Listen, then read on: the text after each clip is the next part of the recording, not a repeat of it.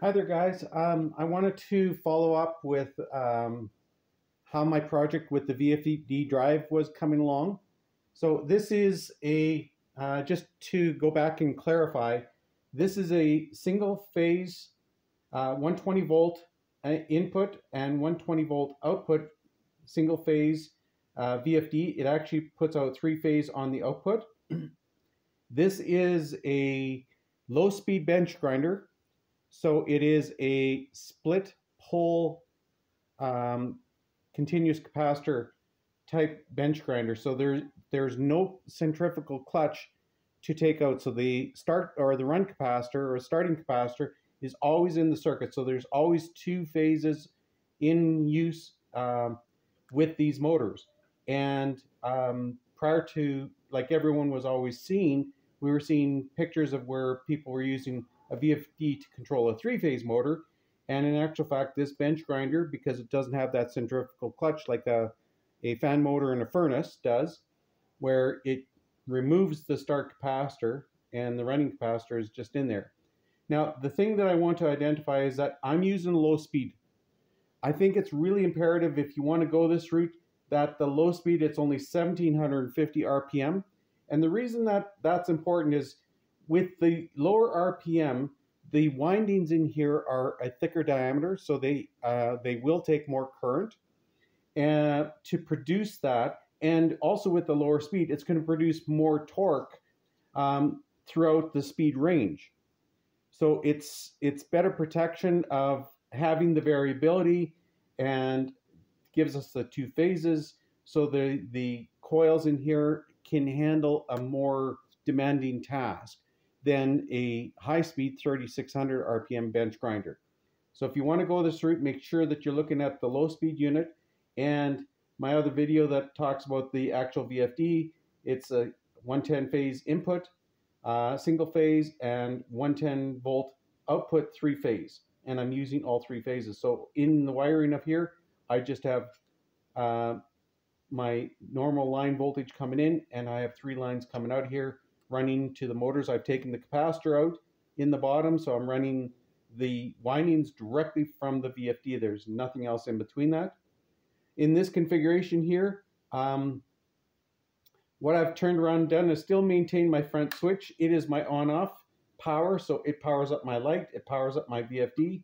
Once my VFD comes on, um, I have my controls. Now, right now, it's saying that my setting is at uh, a reference of 57 hertz, so I can change the frequency in order to vary the speed.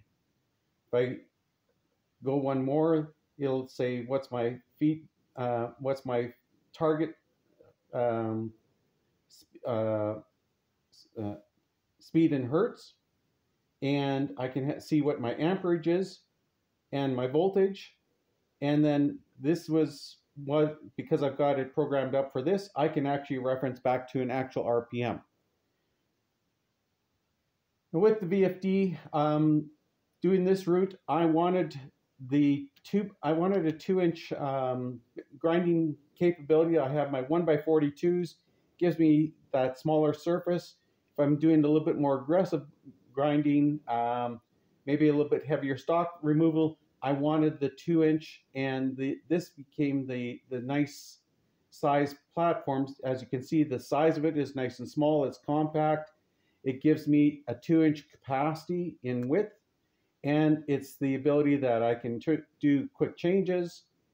So with these guys here, it's it is a fairly easy quick change.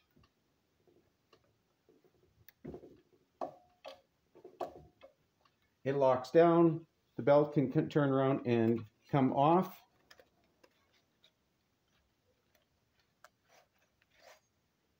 And it's, it's relatively easy to put it back on. Now, the guard on the multi-tool is uh, fairly tight, so it, it does keep a fairly small edge in there for getting your belts in and out. And it's got that locking mechanism on the top. Just unlock that, and now it's good to go. Now the multi-tool itself, it does have different configurations. This is a 2x36. You can get a 2x48. You can get 2 by with a lar large platen wheel. Um, you can, I've got the plate here that I could turn around and decide if I want to put the seven inch uh, disc sanding plate on there for a side and uh, but at this point in time I really just wanted the two inch uh, two inch grinding belt for that capacity the tracking is just as simple as left and right on the front here. And my tool guard that I have is I've made a, a guide because you know what angle is this? How do i reference you know where am i at? I have a couple of these where it's 15 degrees this is fixed this is fixed. So i measured the angles out and i printed off a, a, a surface here that i can now say this is 15 degrees to the belt travel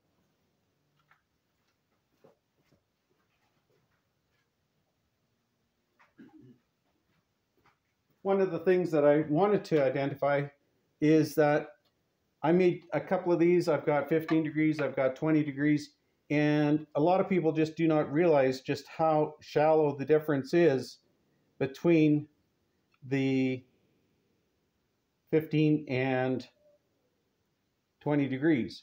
So now if you look at that, that the front one is 15, the back one is 20. So there's not a huge amount of reference difference. And like I said, I can easily throw my 20 on there. And then once I've got my 15, I can just say, there's my 15, double that, there's my 30. And with my four, with my 20, I can say, there's my 20, double that, there's my 40. So these two become very useful for me. Uh, coming back to the use of it, uh, the speed and everything like that is is all controlled by the VFD. Um, so I have run and stop. The other part that I should identify to my other side of this, I'm using the same configuration inspired by Cliff with the cardboard wheel for buffing purposes. This is actually only 10 layers of regular cardboard paper. I just took my Amazon boxes, uh, took my grinding wheel that was off the side, cut the cardboard the same size as that. And then I used Carpenter's um, 3000 PSI glue for gluing up. I put glue on both sides of the cardboard, stacked them up, and put some weight on it, and then put that overnight. And once I put that on here, a lot of people will turn around and say, well, that's going to create a lot of imbalance. Uh, it's not true, that type of stuff. Well, the thing is, with the VFD, I don't have to run it very fast you know, what I turned around and did is, let's say I get down to, I'll get it running here, you know, and I can go, you know, 500 RPM. And what I end up doing is I used a very coarse rasp. You want something very, very coarse because it is going to be, when you stack them up and, and put them on, there's no way you're going to get the center. Even if you drill the center, you're going to have sort of an oblong loop. So what I turned around did is took my rasp, put it down here, and I trued it up, going back and forth, taking off um, cardboard until I had a full circle, and I could run it as it came truer and truer. I could run it up to speed, getting it even that much. And now you can see that my max speed I, that I programmed into it is 3,000 RPM. I do not have any excessive vibration or um, oblong because that wheel is true. The other thing too about that wheel is there's not a lot of mass to it. So with, with very little mass, there's very little weight to turn around and create that imbalance while it's running. Now, I've just shown you that I've got full control of the VFD, full control of the speed. Now I can take this all the way down to easily as, uh, as low as um, no, there's 200, 200 RPM. And, you know, if I do enough, yes, I've still got torque at low RPM. And that's because of the low speed motor. So that low speed motor is what really provides me the, that ability to run the system at as, as a slow RPM and if I turn around and let's see what we've got here. Um, that's running at 10 hertz versus the normal 60 hertz. and it's drawing uh, one amp of current through the coils. The, the uh, motor is rated at 3 amps, so I'm, even this, at this low RPM, I'm still not overcurrenting the the windings in the uh, in the motor. So that's the beauty of having the VFD with the frequency is that you basically should never ever exceed the winding capabilities to produce these low speeds. You can see that as I bring this up, I'm running right about 2 amps now. And that's 1100 RPM. So if I want 900 RPM, you know, that's a beautiful speed for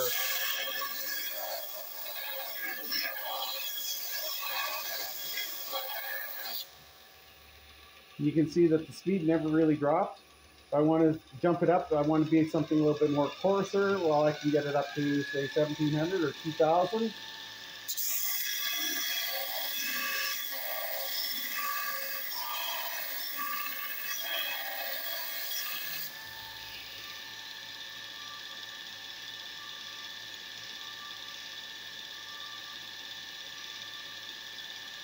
We can see we're still running 2.3 amps.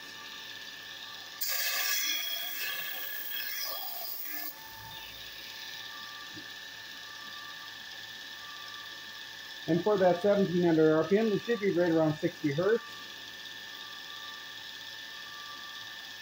So I'm running 71 Hertz right now for, for getting that, that speed of that range. Go right up to 3000 RPM. 100 hertz. I can do grinding still. Or I can do buffing.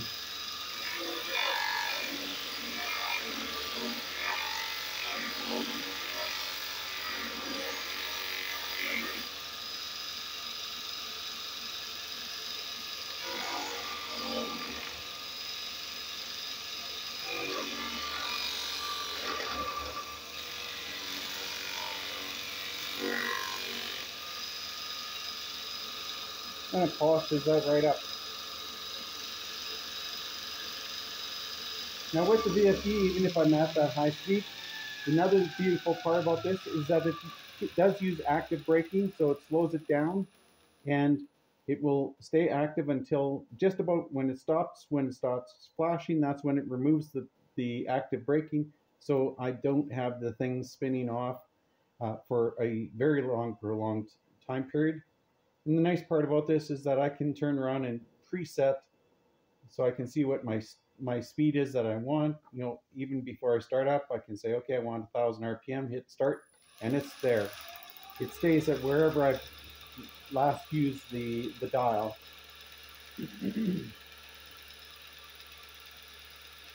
Makes it very nice and true. The, um, the other thing that I did with this is I wanted a uh, I, guess my filings are dust capture.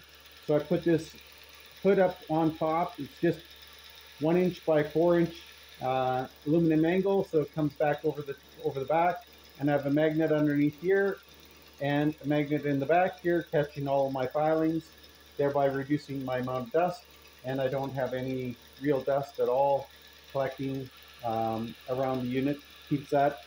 So then, I, when I want to turn around and do some cleaning, I can stop it and I can pull the magnets off, eh, or I could just come up and vacuum right around the magnets. If I have a, another uh, larger capacity, I will think about maybe building a vacuum uh, hose clamp right up in here that I could just bring my hose up right here and capture more of the dust if I took magnets off and do it that way. So I've got a lot of lot of capacity in this. Um, what did I do to build this? Well, this is just some um, eighth inch, uh, is it eighth inch? No, I think it's about 330 seconds um, aluminum plate that was uh, that I just had laying around. I bent it up into a shape so that my VFD is back here. It's far enough back that as I'm working in here, it's not in my, my working plane. Um, but I have everything uh, readily available. All my controls are readily available. This uh, VFD unit uh, does have a remote display, so I can pop this display out. I could have considered putting that on the back side, um, but then I still have to figure out how and where I want that to mount. So that was just easy enough to mount it this way. Um, mounting it this way is the preferred way because there are heat sinks in the back here. You want the airflow coming up through the heat sinks. There is an active fan pulling air up through the top, keeping that unit cool. And you can see that even after using that period of time, the fan hasn't been running at all um, for that for that period of time. As the more you use it, the more the heat sinks will heat up to try to dissipate the energy that is being used to produce the variable frequencies and the current. Uh, shutting the unit down turns that off, turns my light off. Uh, the VFD does have enough capacitance in there that it'll stay powered up for a period of time.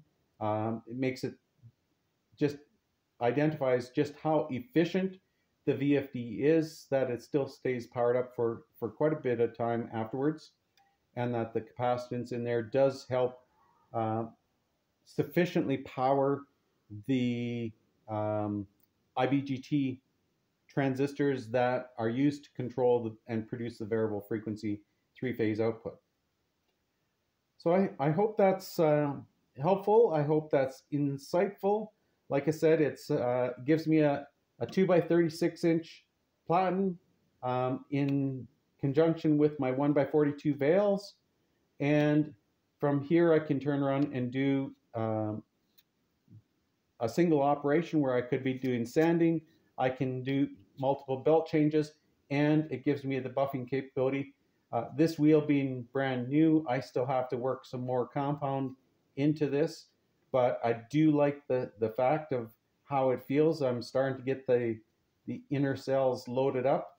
It's got a nice waxy feel because of the, the amount of compound that I have in there. And, uh, and it's that soft texture. So I hope that helps, guys. Um, just a little bit more insight. Thanks for tuning in. Thanks for watching. I hope this uh, may be insightful or give anyone else some more insight as to possible uh, bench grinder modification configuration um, for producing your sharpening equipment. Thanks again. Bye for now.